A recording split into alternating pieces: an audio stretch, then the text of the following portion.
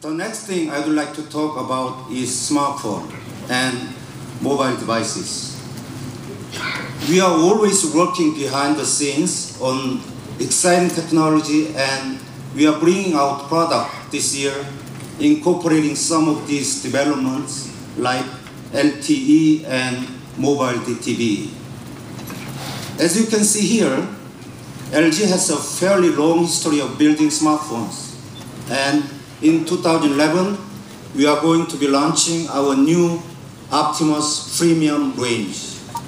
We have some really great smartphones coming. Our Optimus 2X is the world's first smartphone with a dual-core CPU and is able to play back full HD 1080p video. It features HDMI output as well as making it a true cinema in your pocket. Our ultra slim Optimus Black is just 9.2 millimeters thick and weighs only 3.8 ounces.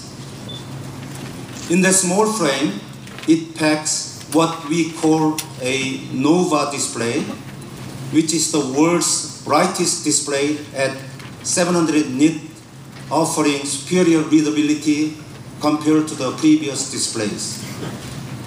I have a short video clip about these phones that I'd like to share with you before we move on.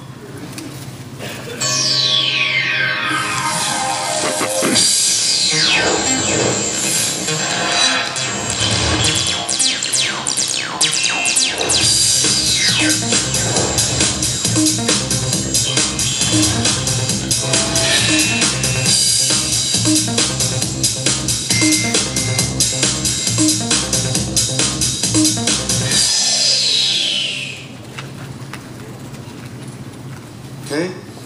LTE is the next generation of mobile communication and is already rolling out several countries around the world. LTE is a really big deal for mobile data and we are taking it very seriously.